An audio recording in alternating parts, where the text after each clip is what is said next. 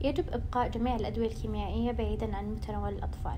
إذا كان التخزين الموصى به في الثلاجة يتم وضعها في حاوية بلاستيكية في أسفل الثلاجة بعيدا عن باقي المواد الغذائية. أما إذا كانت في درجة حرارة الغرفة يجب أن لا تتعدى درجة حرارة الغرفة. 32 درجة مئوية تكون معتدلة الرطوبة وتكون آه ويكون هنا هنالك تهوية جيدة في الغرفة. تكون الأدوية الكيميائية يحرص على وضعها في خزانة بعيدا عن متناول الأطفال الصغار. يجب دائما التعامل مع العلاج الكيميائي بعناية. المهم عدم لمس الأقراص مباشرة أو الكبسولات. وذلك بلبس القفازات آه، الطبية وغسل اليدين جيدا بعد إعطاء الدواء الكيميائي أو التعامل مع أي انسكاب.